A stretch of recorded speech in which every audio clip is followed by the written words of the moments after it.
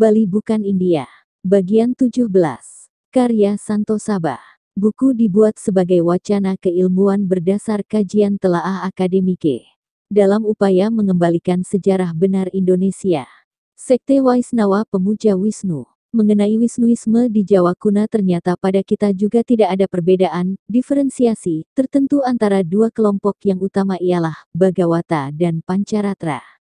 Wisnuisme tetap dalam keadaan sama seperti di zaman epik atau beberapa waktu setelah zaman itu, Purana-Purana yang lebih tua.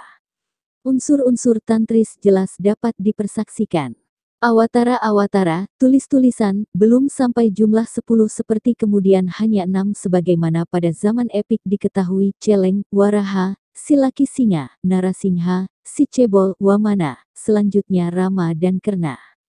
Di Bali sekarang tidak terdapat lagi Wisnuisme yang diakui secara resmi, akan tetapi dapat ditemukan bekas-bekas dalam dua aliran, seperti pada Pasupata, yaitu di sini lagi unsur-unsur yang diambil alih ke dalam agama umum dan di samping itu tokoh Sengguhu. Unsur-unsur yang dimaksudkan ke dalam agama umum adalah popularitas besar yang diperoleh Sri Sakti Wisnu. Dari Dewi Rejeki dan Dewi Kebahagiaan.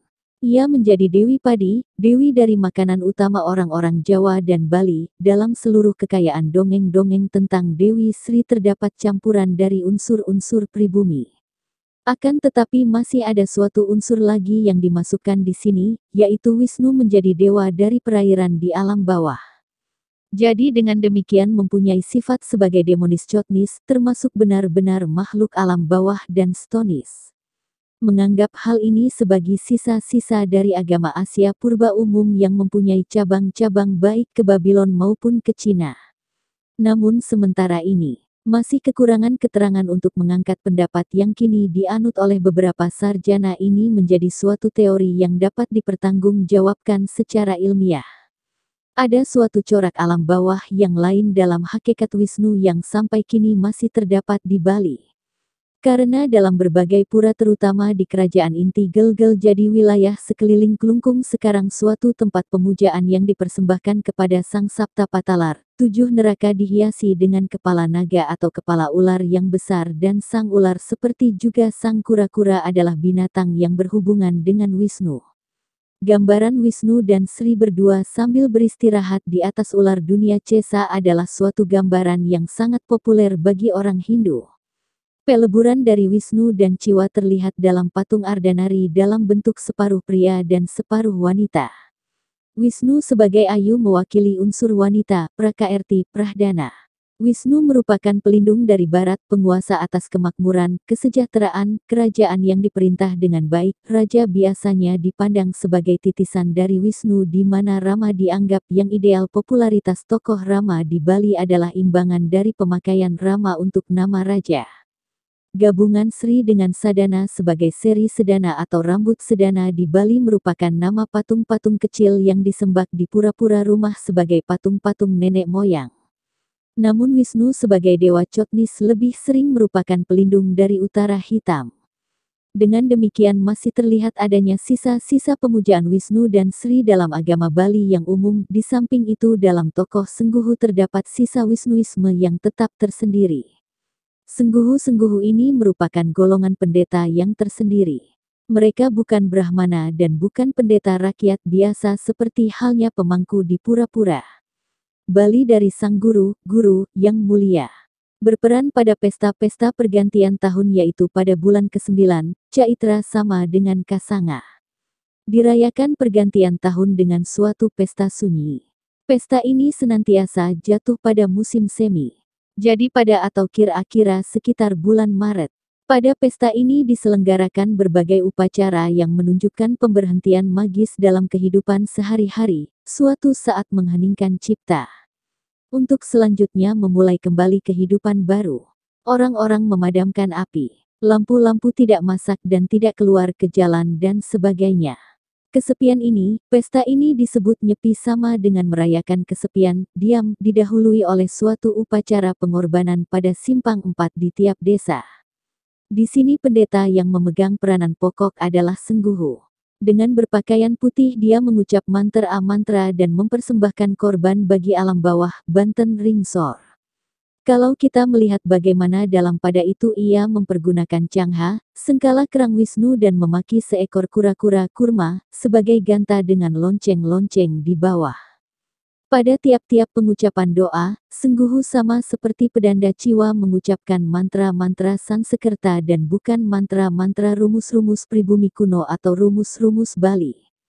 Juga pada pesta besar yaitu pada pesta pengorbanan laut yang dirayakan tiap tahun sungguh ini memegang peranan, di sini diucapkan mantra-mantra antara lain bagi Baruna dan Bayu dan Raja Ular Wasuki atau Besuki. Jadi dapat dilihat bahwa pada persembahan korban laut, suatu persembahan korban kepada Waruna, berperan seorang pendeta bercorak Wisnu, jadi suatu pengukuhan lagi dari pertempuran Wisnu dengan Dewa Laut. Kecuali pada pesta ini. Siwa Sidanta yang berkembang di Bali saat ini merupakan hasil sejarah pra-Hindu, Hindu dan pos-Hindu di daerah Bali sendiri.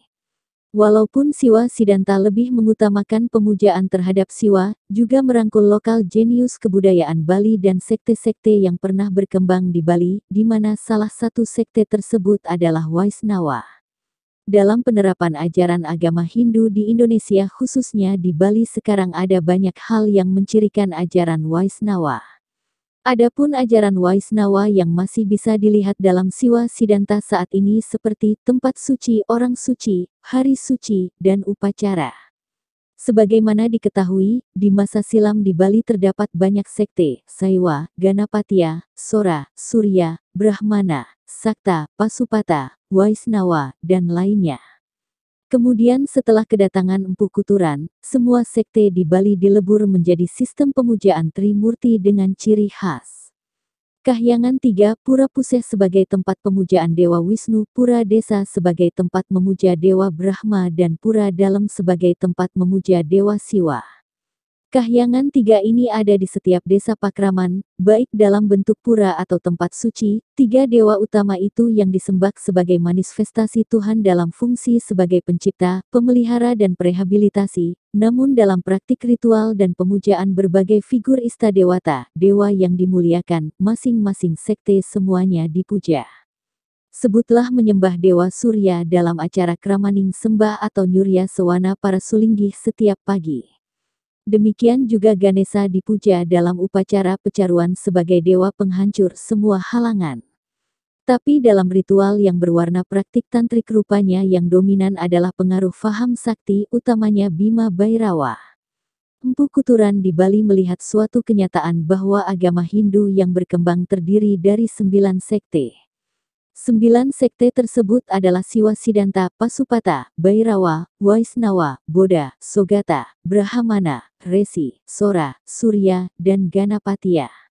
Walaupun Siwa Sidanta lebih mengutamakan pemujaan terhadap Siwa, juga merangkul lokal jenius kebudayaan Bali dan sekte-sekte yang pernah berkembang di Bali, di mana salah satu sekte tersebut adalah Waisnawa. Jejak panjang Wangsa Bujangga Waisnawa di Bali Sekte Waisnawa dan Trisadaka menurut Dr. Goris, sekte-sekte yang pernah ada di Bali setelah abad 9 meliputi Siwa Sidanta, Brahmana, Resi, Sora, Pasupata, Ganapatya, Bairawa, Waisnawa, dan Sogata, Goris, 1974-1012. Di antara sekte-sekte tersebut, yang paling besar pengaruhnya di Bali sekte Siwa Sidanta. Ajaran Siwa Sidanta termuat dalam lontar Buana Kosa. Sekte Siwa memiliki cabang yang banyak. Antara lain Pasupata, Kalamuha, Bairawa, Linggayat, dan Siwa Sidanta yang paling besar pengikutnya. Kata Sidanta berarti inti atau kesimpulan. Jadi Siwa Sidanta berarti kesimpulan atau inti dari ajaran Siwaisme. Siwa Sidanta ini mengutamakan pemujaan kehadapan Tripurusa, yaitu Paramasiwa, Sadasiwa dan Siwa. Brahma, Wisnu dan dewa-dewa lainnya tetap dipuja sesuai dengan tempat dan fungsinya, karena semua dewa-dewa itu tidak lain dari manifestasi siwa sesuai fungsinya yang berbeda-beda. Siwa Sidanta mula-mula berkembang di India Tengah, Madhya Pradesh, yang kemudian disebarkan ke India Selatan dipimpin oleh Mahar Esi Agastya. Sekte Pasupata juga merupakan sekte pemuja Siwa. Bedanya dengan Siwa Sidanta tampak jelas dalam cara pemujaannya. Cara pemujaan Sekte Pasupata dengan menggunakan lingga sebagai simbol tempat turunnya, berstananya Dewa Siwa. Jadi penyembahan lingga sebagai lambang Siwa merupakan ciri khas Sekte Pasupata. Perkembangan Sekte Pasupata di Bali adalah dengan adanya pemujaan lingga. Di beberapa tempat terutama pada pura yang tergolong kuno, terdapat lingga dalam jumlah besar. Ada yang dibuat berlandaskan konsepsi yang sempurna dan ada pula yang dibikin sangat sederhana sehingga merupakan lingga semu. Adanya Sekte Waisnawa di Bali dengan jelas diberikan petunjuk dalam konsepsi agama Hindu di Bali tentang pemujaan Dewi Sri. Dewi Sri dipandang sebagai pemberi rejeki, pemberi kebahagiaan dan kemakmuran.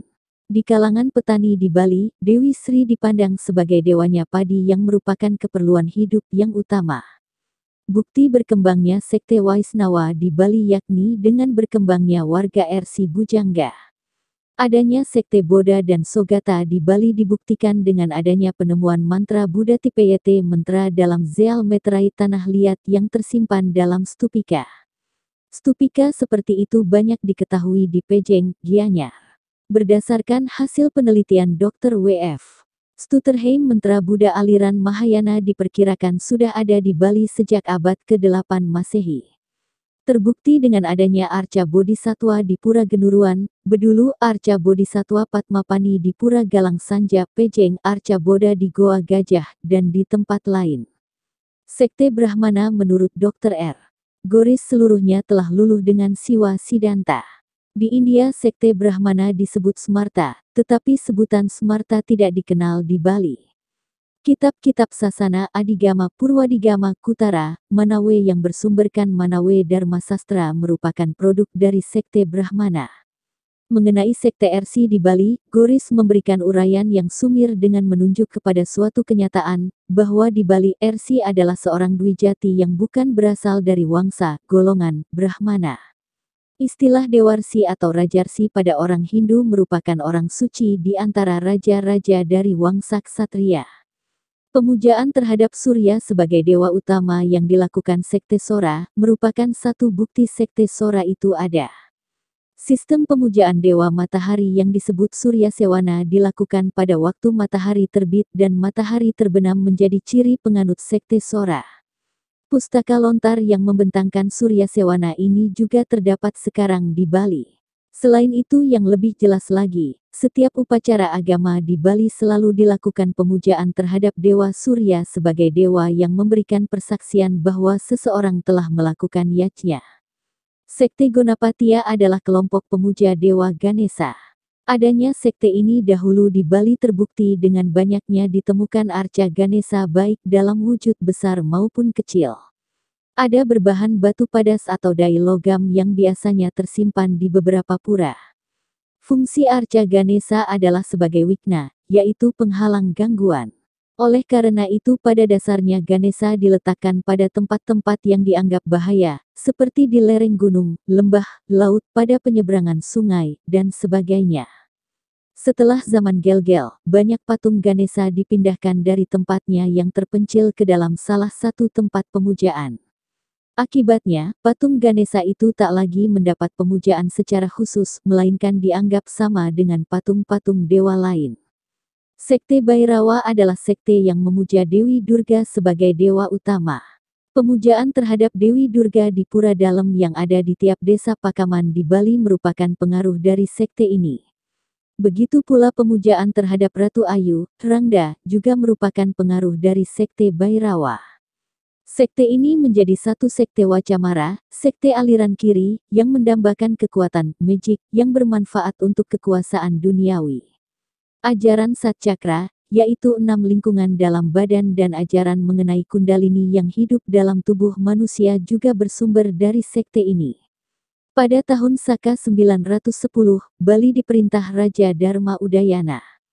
Permaisurinya berasal dari Jawa Timur bernama Gunapriya Dharmapatni Putri Makutawangsa Wardana. Pemerintahan Dharma Udayana dibantu beberapa pendeta yang didatangkan dari Jawa Timur. Antara lain Empu Kuturan. Empu Kuturan diserahi tugas sebagai Ketua Majelis Tinggi Penasehat Raja dengan pangkat Senapati, sehingga dikenal sebagai Senapati Kuturan. Seperti telah diuraikan sebelumnya, sebelum pemerintahan suami istri Dharma Udayana, Gunapriya Dharma Patni, sejak awal abad ke-10, di Bali telah berkembang berbagai sekte. Pada mulanya sekte-sekte tersebut hidup berdampingan secara damai. Lama-kelamaan justru sering terjadi persaingan. Bahkan tak jarang terjadi bentrok secara fisik. Hal ini dengan sendirinya sangat mengganggu ketentraman Pulau Bali. Sehubungan dengan hal tersebut, Raja lalu menugaskan kepada Senapati Kuturan untuk mengatasi kekacauan itu. Atas dasar tugas tersebut, Empu Kuturan mengundang semua pimpinan sekte dalam suatu pertemuan yang dilakukan di Bata Anyar, Samuan III. Pertemuan ini mencapai kata sepakat dengan keputusan Trisadaka dan Kahyangan III. Nah, terkait dengan Bujangga Waisnawa sampai masuk ke Bali, sejarahnya tentu harus dicari lagi. Ternyata, walaupun tidak khusus juga terdapat di buku leluhur orang Bali karangan I Nyoman Singgih Wikarman tentang perjalanan Maharsi Markandia ke Bali. Perjalanan beliau ke Bali pertama menuju Gunung Agung. Di sanalah Maharsi dan murid-muridnya membuka hutan untuk pertanian. Tapi sayang, murid-muridnya kena penyakit, banyak di antaranya meninggal. Akhirnya beliau kembali ke pasramannya di Gunung Raung. Di sanalah beryoga, ingin tahu apa sebabnya hingga bencana menimpa para pengikutnya. Hingga mendapat pawisik bahwa terjadinya bencana itu adalah karena beliau tidak melaksanakan upacara keagamaan sebelum membuka hutan itu. Setelah mendapat pawisik, Maharsi Markandia pergi kembali ke Gunung Tahlangkir, Tohlangkir, Bali. Kali ini mengajak serta pengikut sebanyak 400 orang. Sebelum mengambil pekerjaan, terlebih dahulu menyelenggarakan upacara ritual dengan menanam panca datu di lereng Gunung Agung itu. Demikianlah akhirnya semua pengikutnya selamat. Maka itu wilayah ini lalu dinamai Besuki, kemudian menjadi Besaki, yang artinya selamat. Tempat Maharsi menanam panca datu, lalu menjadi pura, yang diberi nama Pura Besaki. Entah berapa lamanya Maharsi Markandia berada di sana, lalu beliau pergi menuju arah barat dan sampai di suatu daerah yang datar dan luas, di sanalah lagi merabas hutan. Wilayah yang datar dan luas ini lalu diberi nama Puakan. Kemungkinan dari kata Puakan ini lalu menjadi Suakan dan terakhir menjadi Subak. Di tempat ini RC Markandia menanam jenis-jenis bahan pangan. Semuanya bisa tumbuh dan menghasilkan dengan baik. Oleh karenanya tempat itu juga disebut sarwada yang artinya serba ada. Keadaan ini bisa terjadi karena kehendak sang yogi. Kehendak bahasa balinya kahyun atau atnyana. Dari kata kahyun menjadi kayu. Kayu bahasa Sanskertanya taru, kemungkinan menjadi taro. Taro adalah nama wilayah ini kemudian. Di wilayah Taro ini sang yogi mendirikan sebuah pura, sebagai kenangan terhadap pasraman beliau di Gunung Raung. Puranya sampai sekarang disebut Gunung Raung. Di sebuah bukit tempatnya beryoga juga didirikan sebuah pura yang kemudian dinamai Pura Payogan, yang letaknya di Campuan Ubud. Pura ini juga disebut Pura Gunung Lebah. Berikutnya RC Markandia pergi ke barat dari Payogan itu, dan sampai di sana juga membangun sebuah pura yang diberi nama Pura Murwa dan wilayahnya diberi nama Pehyangan, yang sekarang menjadi Payangan. Orang-orang aga, murid sang yogi, menetap di desa-desa yang dilalui. Mereka bercampur dan membaur dengan orang-orang Bali asli. Mereka mengajarkan cara bercocok tanam yang baik, menyelenggarakan yachna seperti yang diajarkan oleh RC Markandia. Dengan demikian agama Hindu pun dapat diterima dengan baik oleh orang-orang Bali asli itu. Sebagai rohaniawan, Pandita orang Aga dan Bali Mula adalah keturunan Maharesi Markandia sendiri yang disebut warga Bujangga Waisnawa.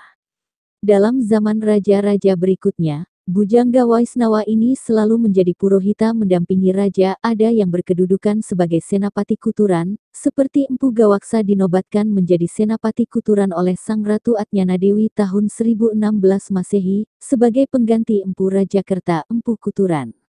Ratu ini pula yang memberikan kewenangan kepada sang guru Bujangga Waisnawa untuk melakukan pacaruan wali sumpah ke atas. Karena sang pendeta mampu membersihkan segala noda di bumi ini. Lalu Empu Atuk yang masih keturunan RC Markandia, di masa pemerintahan Sri Sakala Indukirana, 1098 M, dinobatkan sebagai senapati kuturan dari keturunan Bujangga Waisnawa. Pada masa pemerintahan Suradipa, tahun 1115 sampai tahun 1119 M, yang dinobatkan sebagai Senapati Kuturan dari keturunan Sang Ersi Markandia adalah Empu Ceken, kemudian diganti oleh Empu Jagatita. Kemudian ketika pemerintahan Raga Jaya, 1077 M, yang diangkat sebagai Senapati Kuturan yakni Empu Andona Amenang, dari keluarga Bujangga Waisnawa. Demikianlah seterusnya. Ketika pemerintahan raja-raja selanjutnya, selalu saja ada seorang purohita raja atau dalam yang diambil dari keluarga Bujangga Waisnawa, keturunan Maharsi Markandia. Sampai terakhir masa pemerintahan dalam Batur Enggong di Bali. Ketika itu yang menjadi Bagawanta dalam, mewakili Sekte Waisnawa, adalah dari Bujangga Waisnawa pula dari Griha Takmung. Namun sayang dan mungkin sudah kehendak Dewata Agung, Terjadi kesalahan sang guru Bujangga, di mana beliau selaku acarya, guru, telah mengawini sisyanya sendiri yakni putri dalam yaitu Dewa Ayu Laksmi. Atas kesalahan ini sang guru Bujangga Waisnawa akan dihukum bunuh. Tapi beliau segera menghilang dan kemudian menetap di wilayah Tabanan. Semenjak kejadian inilah dalam tidak lagi memakai Bagawanta dari Bujangga Waisnawa keturunan Sang Ersi Markandia. Setelah kedatangan Dang Hyang Nirarta di Bali, posisi Bagawanta diambil alih Brahmana Siwa dan Buddha. Selesailah sudah peranan Bujangga Waisnawa sebagai pendamping raja di Bali. Bahkan setelah strukturisasi masyarakat Bali ke dalam sistem wangsa oleh Dang Hyang Nirarta atas restu dalam, keluarga Bujangga Waisnawa tidak dimasukkan lagi sebagai warga Brahmana. Namun sisa-sisa kebesaran Bujangga Waisnawa dalam peranannya sebagai pembimbing masyarakat Bali, terutama dari kalangan Bali Mula dan Bali Aga masih dapat kita lihat sampai sekarang. Pada tiap-tiap pura dari masyarakat Bali Aga, mula itu, selalu ada palinggi sebagai stana Batara Sakti Bujanga. Alat-alat pemujaan selalu siap pada palinggi itu. Orang-orang Bali Aga, mula cukup nuhur tirta, mohon air suci, terutama tirta pangentas melalui palinggi ini. Sampai sekarang para warga ini tidak berani mempergunakan atau nuhur pedanda siwa. Warga Bujangga Waisnawa, keturunan Maharsi Markandia sekarang telah tersebar di seluruh Bali.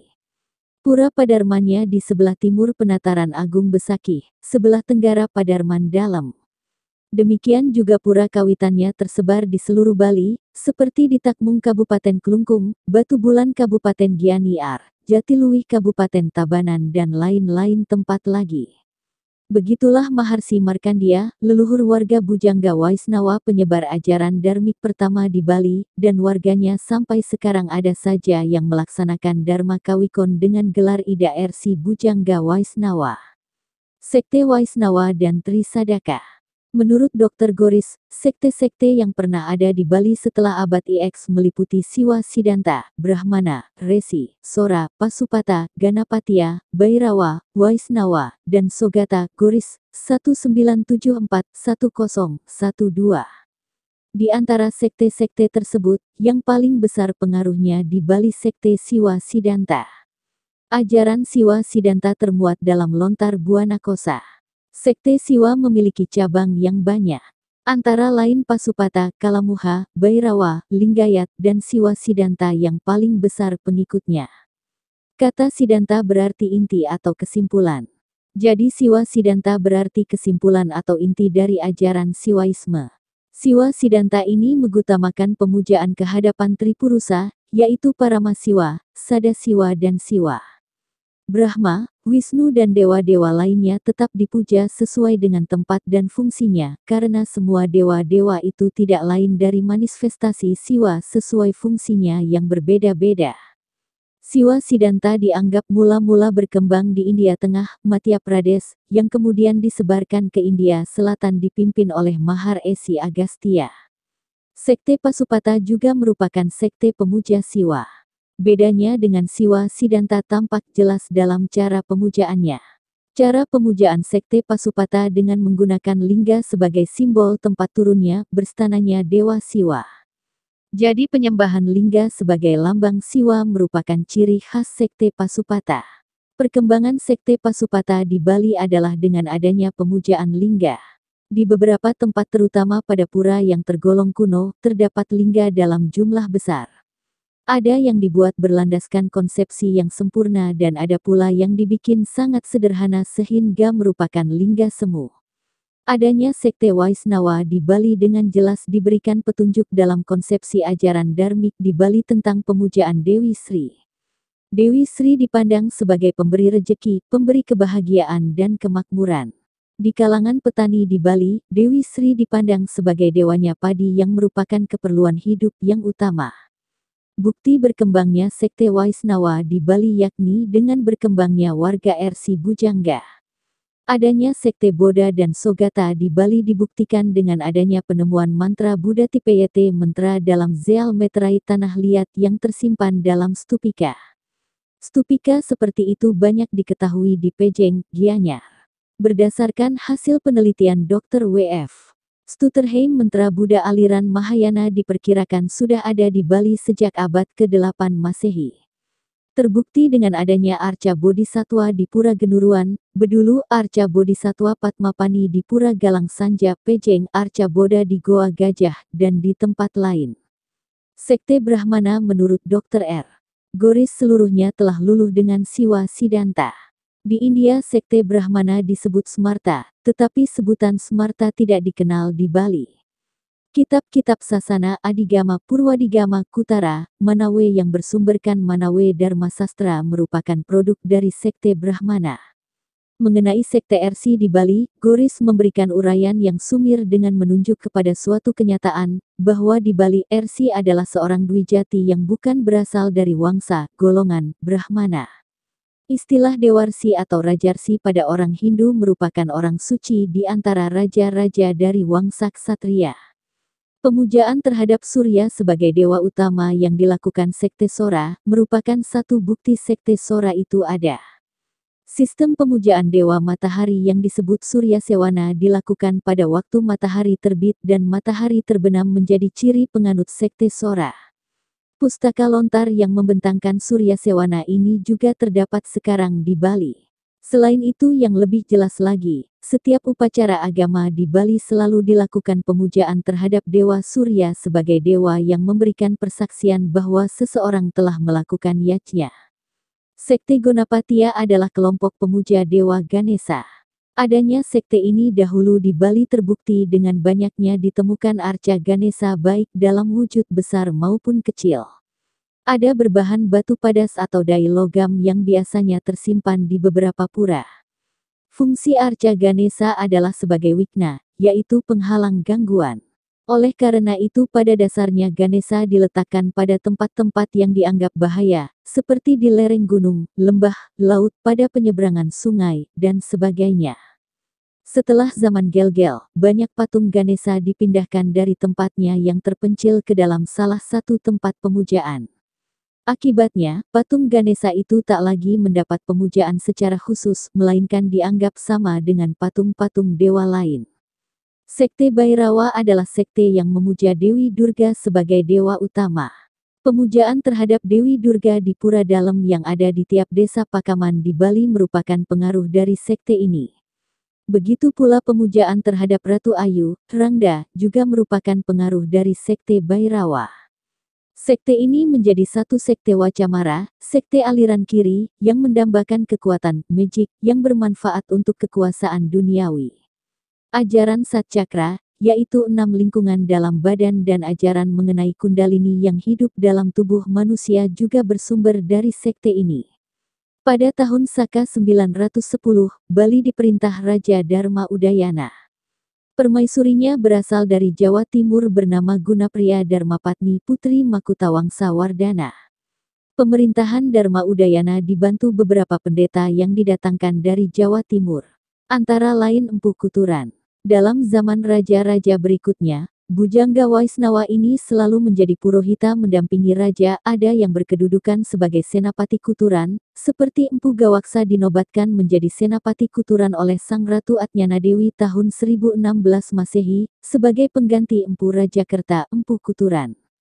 Ratu ini pula yang memberikan kewenangan kepada Sang Guru Bujangga Waisnawa untuk melakukan pacaruan wali sumpah ke atas.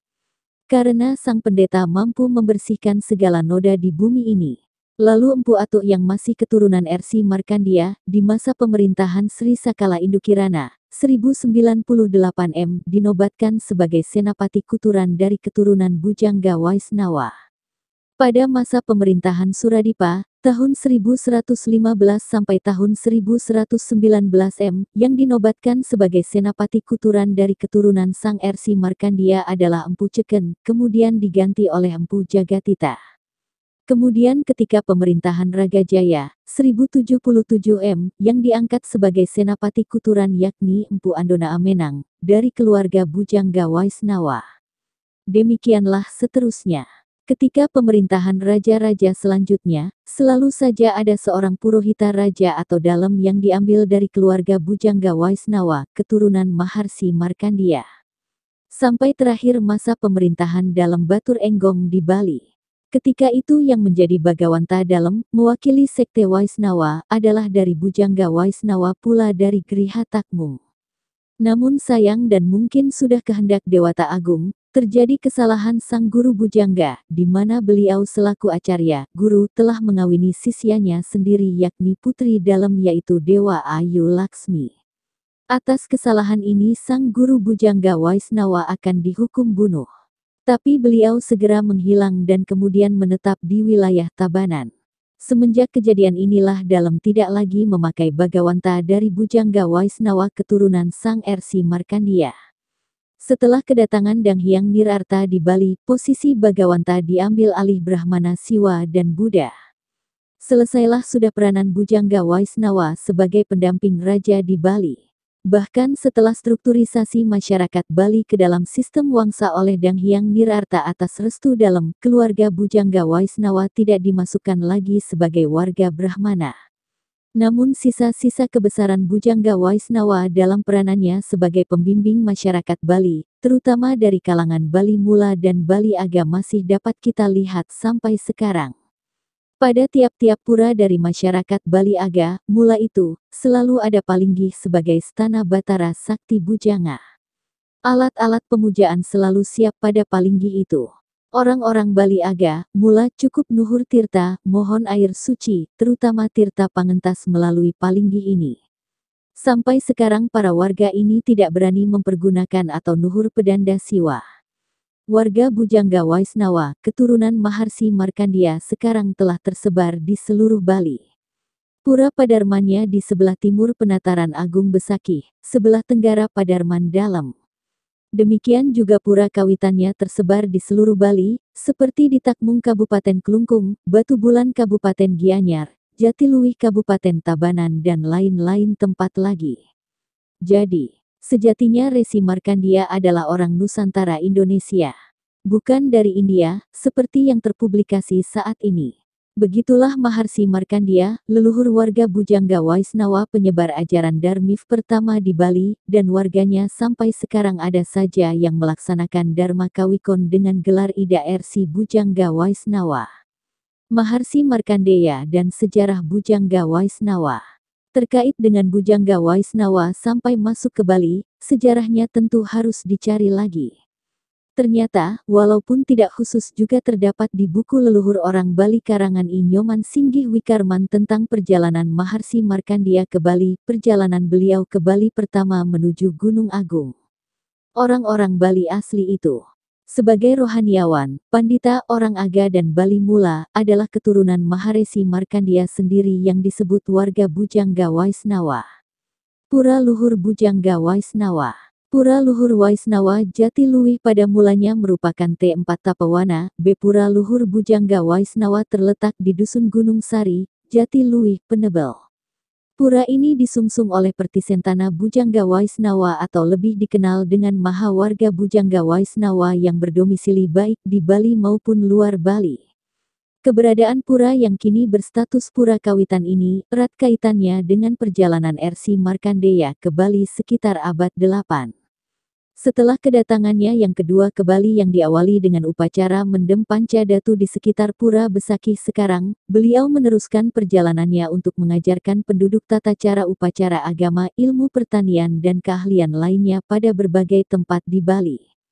Selain pura di Jatiluwih, masih ada beberapa pura lainnya yang erat kaitannya dengan perjalanan beliau, di antaranya 1. Pura Luhur Sebang Dahat di Desa Puakan 2. Pura Gunung Raung di Desa Taro 3. Pura Dalam Murwa di Desa Payangan 4. Pura Segara Kidul Batu Bolong 5. Pura Pedarman di Gunung Agung dan beber apa pura lainnya. Jika ditilik dari perjalanan RC Markandeya yang pada mulanya berpesraman di Gunung Raung, Jawa Timur itu, beliau membangun tempat pemujaan di sekitar danau, laut, desa dan hutan atau gunung yang merupakan titik-titik strategis di daerah Bali, yakni tempat beliau melakukan tapa dan meditasi memuja kebesaran Hyang Widi serta kemakmuran jagat Bali di tengah hutan. Sementara beberapa pura yang terletak di Danau Batur, Beratan dan Tamblingan menjadi pura sungsungan jagat. Pura Luhur Waisnawa Jati Luwih terletak di pegunungan yang memiliki udara sejuk serta hawa pegunungan. Hingga kini, letak pura jauh dari pemukiman penduduk dan menjadi tempat aktivitas spiritual bagi para warga Bujangga Waisnawa. Letaknya yang berada pada ketinggian membuat indahnya pemandangan dari Pura Patali yang dalam sejarahnya dibangun oleh RC Bujangga Canggu bersama-sama dengan Arya Wangbang, pemedek harus melewati jalan menanjak beberapa ratus meter untuk mendapatkan pura ini. Seperti halnya pura pada umumnya, areal pura yang cukup luas ini terbagi atas Nista Mandala, Madya Mandala dan Utama Mandala. Di Madya Mandala terletak pelinggih Hyang Guru yang merupakan sarana pemujaan guru yang memberikan pencerahan bagi segenap pemedek. Sementara di utama Mandala, selain gedong terdapat dua Meru yakni Meru Tumpang Pitu dan Meru Tumpang Solas. Areal utama Mandala yang cukup luas dan udara yang sejuk membuat pemedek nyaman untuk melakukan persembahyangan. Selain pura ini, menurut beberapa catatan sejarah bahkan nama Jatiluwih dan Gunung Sari erat kaitannya dengan kisah Ida Bagus Angker atau Ida Bujangga Ersi Canggu yang merupakan putra dari Ersi Wesnama Mustika melakukan yoga semadi. Dikisahkan sekitar tahun Icaka 1320, setelah kematian Ersi Wesnama Mustika Ida Bagus Angker pindah dari Sengguhan Klungkung menuju Giri Kusuma. Di sana beliau melakukan yoga semadi. Tempat tersebut akhirnya dikenal dengan Gunung Sari. Sementara tempat tinggal Ida Bagus Angker dinamakan Jati Luwih karena beliau sudah di Dwi Jati. Bujangga berarti ilmuwan atau cendikiawan, yakni orang-orang yang mempelajari, mengetahui dan mengamalkan ilmu pengetahuan Weda. Weda yang dimaksud baik dalam konteks mantra puja, tatwa agama maupun ilmu pengetahuan seperti pemerintahan ekonomi, sosial dan sebagainya. Selain itu Bujangga juga berarti pandita. Warga Bujangga Waisnawa awalnya penganut Ciwa Waisnawa sehingga menjadi Bujangga Waisnawa. Leluhur Bujangga Waisnawa antara lain 1. Maha Ersi Markandeya 2. Maha Ersi Waisnawa Mustika 3. Maha Ersi Madura dan 4. Maha Ersi Bujangga Waisnawa yang lain. Para RC ini sangat tersohor dalam penanaman pendidikan spiritual di Bali dan peranannya bagi perkembangan Hindu dinilai sangat penting. Selain itu terdapat pula para kesatria Bali yang merupakan penganut Waisnawa seperti Raja Jaya Pangus dan Raja Dalam Tamblingan. Seluruh keturunan baik Maha RC maupun para kesatria Bali tersebut kini terhimpun dalam Maha Warga Bujangga Waisnawa. Sesuai dengan keberadaan awalnya, hingga kini keluarga besar Bujangga Waisnawa masih tetap menekuni tugasnya selaku cendikiawan maupun pandita. Di Bali terdapat sekitar 21 sulinggih Bujangga Waisnawa yang melayani umat dalam berbagai aktivitas keagamaan. Sementara Ida Bujangga RC istri Netri dari Gia Babut, Yiddah Tabanan yang merupakan nabe dari seluruh sulinggih Bujangga Waisnawa ini. Keberadaan Sulinggih bagi Mahawarga ini dinilai sangat penting peranannya. Secara berkala Mahawarga ini menggelar pertemuan Sulinggih yang bernama Saba Agung Sulinggih Mahawarga Bujangga Waisnawa. Dalam pertemuan ini dibahas sesana Sulinggih dan berbagai hal yang dianggap penting demi pembinaan para pasemetonan maupun umat secara umum. Selain itu, untuk lebih meningkatkan kualitas sulinggih para calon diksita juga dipersiapkan dengan pola pendidikan tertentu. Salah satu cendikiawan yaitu Raka Santri merupakan salah satu cendikiawan yang banyak memberikan pendidikan dalam lingkup Bujangga Waisnawa. Raka Santri kerap memberikan telaah keilmuan baik sejarah Mahaersi maupun ajaran Weda kepada kelompok ini. Ia sependapat bahwa para sulinggi hendaknya mampu memberikan pencerahan umat selain muput karya. Selain itu, pendidikan agama, menurutnya, hendaknya diterapkan mulai kelompok kecil seperti keluarga, lingkungan atau kelompok dan masyarakat pada umumnya. Ketua Umum Moncol Pusat Mahawarga Bujangga Waisnawa Maijen Puren I Ketut. Wirdana menyatakan keberadaan pasemetonan ini bukan merupakan perkumpulan yang eksklusif, melainkan upaya untuk memperkokoh jati diri kehinduan. Menurutnya, Paham yang dianut oleh Bujangga Waisnawa adalah catur warna yang didasari rasa saling menghormati dan kasih sayang. Selain itu, tata cara pelaksanaan upacara agama lebih ditekankan pada konsep kesederhanaan dengan tanpa menghilangkan makna yang terkandung di dalamnya. Filosofi yatnya yang dianut oleh maha warga ini lebih merupakan pada kemampuan pribadi masing-masing tanpa harus memaksakan diri. Itulah ajaran Dharmik original yang diajarkan oleh para Maharesi. Mereka para resi adalah putra Nusantara Indonesia dan bukan dari India, begitu juga ajarannya. Berlanjut ke bagian 18. Salah kaprah tentang Senggu Bujangga Waisnawa. By Santo Sabah.